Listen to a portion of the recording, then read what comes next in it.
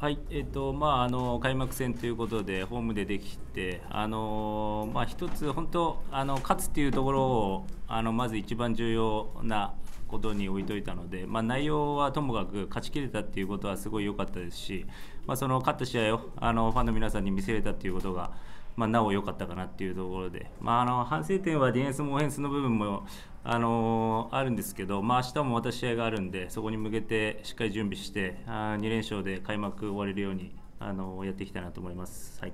えー、第2クォーターと第3クォーターで、えー、フリースロー後からの、えー、プレスを仕掛けたというところで大きく流れをつかんだと感じます。その中で、えーまあ、ベンチの中で、えー、安西監督が選手にかけた声というのは何かありましたら教えていただきたいです。そうですね、まああのうん出だしやっぱり重い展開で、あの前半はどちらかというと交代で入った選手たちが流れを持ってきてくれて、まあ、あのなんとかリードで終われたっていうのがすごい大きかったと思うんですけど、まあ、後半、その出だしでどのぐらいいけるかっていうところが今日のその勝負かなっていうのはあの選手にもハーフタイムにも伝えてて。あのでまあ、しっかりディフェンス頑張ってもうちょっとトランジションであのもうちょっとパスの展開を早くして点数を取るっていうところをあのハーフタイムで話したのが最初出てでいい感じに流れが来てでタイムアウトを相手が取ったんで、まあ、そこは結構自分たちの流れをどう持ってくるかっていうのは僕の中ではあのいろいろ考えてる部分があるので、まあ、そこで何を選択するかっていうところと、まあ、相手がこういうのやってきたら嫌だなって思うのはあのまあ、考えながら少し取り入れたのが今日はうまくいったかなっていうところですかね、まあ、そこで点数離せたのがあの最後まで流れが切れなかったところかなとは思いますけど。えっとまあ、今日当然初戦でしたけども、まあ、スコット選手と新戦力がうまくいったように見受けましたしあと、まあ、テイウ選手がフルで参戦するのは2年目とかこういろいろこう新たに期待できるところあるありますけど一方で、まあ、まだ入国できてない外国選手がいたりとか。まあ、あの質問はその今後そういった選手たちのがこうチームに慣れてフィットしていってさらにその入国してない外国人選手が入った時にここからどれぐらい今後上積みっていうのを考えられるかっていうのをその辺ちょっと教えてください。そうですね上積みはまああのうん今の時点でもまあまあそのしっかりこう女子も会もチームに馴染んでるとは思いますし。うんまあそこはちょっと入ってきてみないと上積みできるかもしれないし逆に下がるパターンもあるんであのそれをこう下げないようにどうできるかっていうのが僕らコーチ陣のま仕事かなっていうところですかねあのプレータイムも分散されることになりますし必ずしもあのそういう選手が来たからって良くなるっていうわけではないと思うので、まあ、今のところだから甲斐と女子のに関しては上積みが去年よりはできてると思いますし、まあ、今日のゲームはまた別としてこれからどんどん良くなっていくだろうなっていう部分は感じてますけど。あの LJ 選手に関しては当然こういろんなやり取りはされてて映像とかも見てると思うんですけど、実際に彼が、まあ、大場にいないっていうことでその合流して。そ今おっしゃってたようにこうそのちゃんとフィットできるかみたいな怖さみたいなのは安西さんの中ではあったり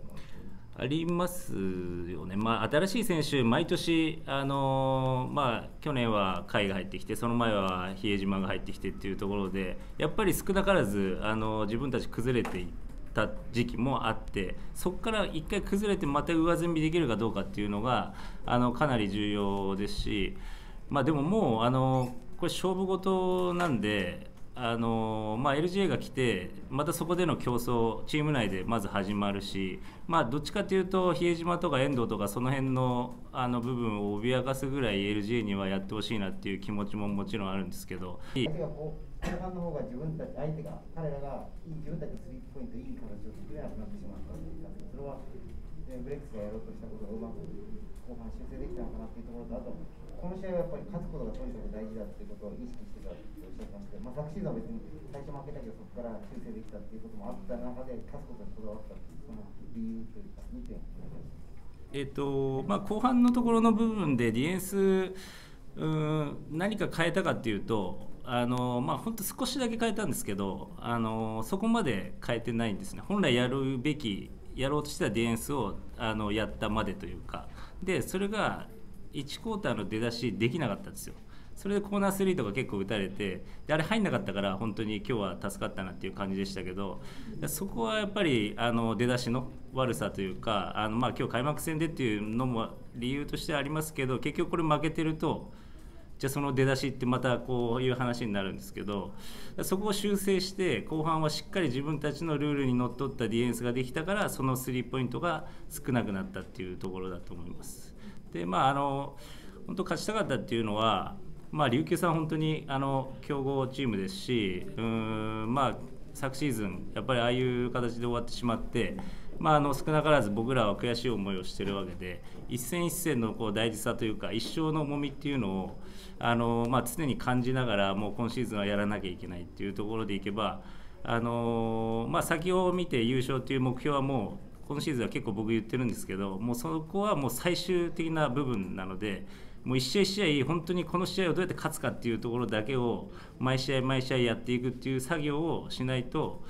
まあ、何が起こるかわからないですし、まあ、うちも勝っていけるかもわからないので、まあ、そういう意味ではあの昨シーズンやっぱ開幕戦ああいう形で負けてそこから奮起しましたけどもう出だしからやっぱり奮起するっていう僕らのこのチャレンジ精神をやっぱこう見せていくっていうところでいけばやっぱり勝てなきゃいけないゲームだったかなっていうところと、まあ、ホームだったしっていうのもありますしね、まあ、あとあの最後インタビューでも言いましたけどやっぱこういう状況でやっぱお客さん入ってもらってで、まあ、うちのそのいろいろチケットの部分とかっていうのも僕はもうあの分かってますしそういう中でもやっぱりそれを払って